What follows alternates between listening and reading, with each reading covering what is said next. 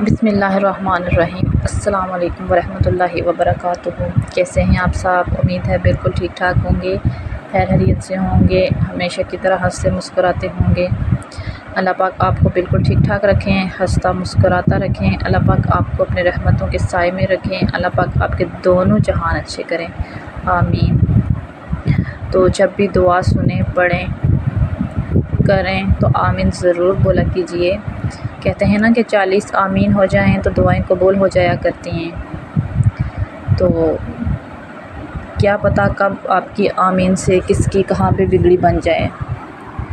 दूसरों को अपनी दुआओं में याद रखा करें, दूसरों के लिए पहले दुआ किया करें और बाद में अपने लिए अपने रब से मांगा करें। यकीन माने, जो दूसरों के लिए अच्छा सोचते हैं, जो दूसरों के लिए पॉजिटिव रहते हैं ना, अल्लाह पाक उनके लिए अच्छा अच्छा करते हैं। आपकी दुआ से, आपकी नेक ख्वाहिशात से अगर दूसरों का भला हो जाता है ना तो अल्लाह पाक आपका भला करते हैं। वो कह रहे हैं तेन इन्ना अमाल बिनिया तो अमाल का दारोमदार होता ही नीत ऊपर है। नीयत अच्छी रख के अगर आप जब काम करेंगे ना तो अल्लाह पाक उसका अजर आपको ज़रूर देते हैं। और दुआएँ तो तकदीर बदल दिया करती हैं ना। तो हमेशा पॉजिटिव रहें और अच्छा सोचें अच्छा करें। खुश रहें, खुश, खुद भी खुश रहें और दूसरों को भी खुश रखने की कोशिश किया करें इन तो आज मॉर्निंग में मैं बना रही थी पराठा तो मैंने सोचा पराठा बनाने के साथ साथ आपके साथ मैं अपने मॉर्निंग की शार्ट सी रूटीन भी शेयर कर लेती हूँ। तो जब तक मेरा पराठा बन के होता रेडी तो प्लीज़ आप मेरे चैनल को सब्सक्राइब कर दें लाइक भी ज़रूर कर दें शेयर भी कर दें और बेल आइकन को भी ज़रूर प्रेस करें। यकीन माने आपके एक बटन दबाने से आपका तो कुछ भी नहीं जाता। हमें फ़ायदा होता है, हमारी हौसला अफजाई होती है। तो प्लीज़ आप ज़रूर चैनल को सब्सक्राइब करना। सेवेंटी फाइव परसेंट लोग वीडियो ज़रूर देखते हैं, लेकिन सब्सक्राइब नहीं करते। हम बहुत मेहनत करने के बाद आप लोगों के लिए वीडियोस बनाते हैं। तो प्लीज़ हमारी हौसला अफजाई करने के लिए ज़रूर सब्सक्राइब करें। लाइक भी कर दिया करें। आगे शेयर भी कर दिया करें। आपके इस अमल से अगर किसी को फ़ायदा हो जाता है तो अल्लाह पाक आपको इसका अजर देंगे इन और आ, मेरी मॉर्निंग रूटीन को देखने के लिए मेरी वीडियो को प्लीज़ फुल वॉच करना। और आगे आप मेरे साथ रहें।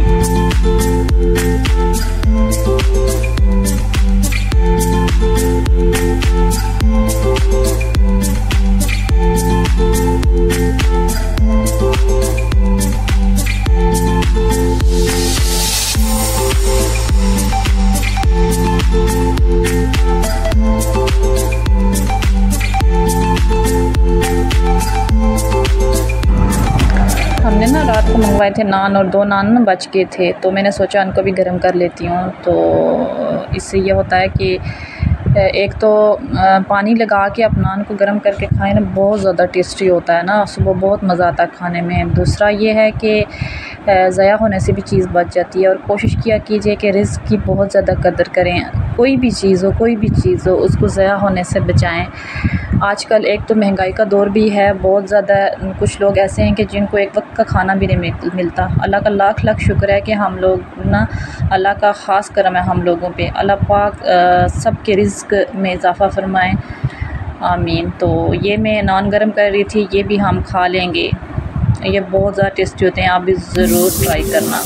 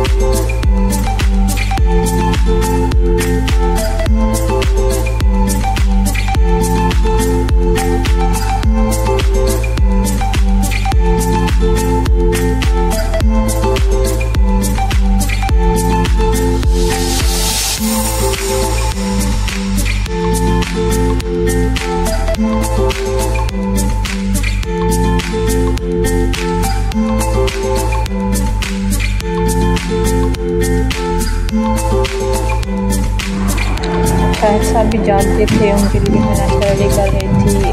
पराठा तो मैंने पहले से ही बना दिया था एग उनके लिए फ्राई कर रही थी। साथ में चाय भी बन गई थी। तो अभी हमारा नाश्ते का हो गया टाइम हम बैठ के करेंगे नाश्ता।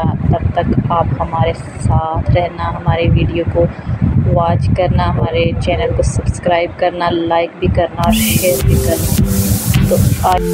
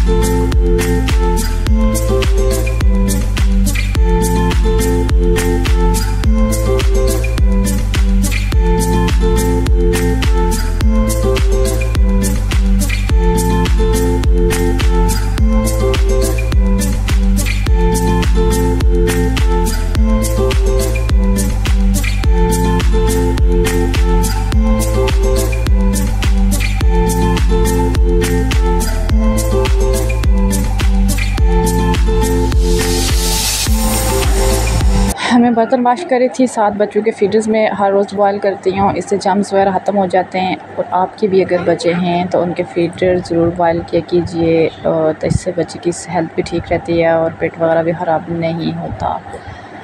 तो साथ में मैंने इस तरफ़ देगची में पानी डाल के रखा था और इसमें मिश्री डाल दी थी। मैं बच्चों को शुगर वगैरह कम यूज़ करवाती हूँ। तो मिश्री का पानी बना के ना बीच में साबुदाना भी डाल देती हूँ और वो जो थोड़ा सा जब वो गल जाता है तो फिर उसका पानी स्ट्रेन करके ना बाटल में रख देती हूँ और जिस वक्त भी फिडर बनाती हूँ तो फिर उसमें से डाल के थोड़ा सा वो मीठी भी होती है, उससे शुगर की भी ज़रूरत दूध में नहीं पड़ती और साथ में ये होता है कि साबुदाना वाटर से ना हड्डियाँ भी मज़बूत होती हैं। तो आप भी ये ज़रूर ट्राई करना। मिश्री से ही होता है कि जो बच्चे खाना नहीं खाते ना तो उनको भूख भी अच्छी लग जाती है। शीज़ पहले बिल्कुल खाना नहीं खाते थे और जब भी मैं, जब से मैंने ये स्टार्ट किया है, अल्हम्दुलिल्लाह, मांग के खाना खा लेते हैं, रोटी वगैरह जो भी हो। आप भी अपने बच्चों के लिए ये ज़रूर ट्राई करना। और मेरी अगली वीडियो तक के लिए मुझे दें इजाज़त। अपना बहुत सारा ख्याल रखें, रबता बहाल रखें। और, मेरे चैनल का ज़रूर से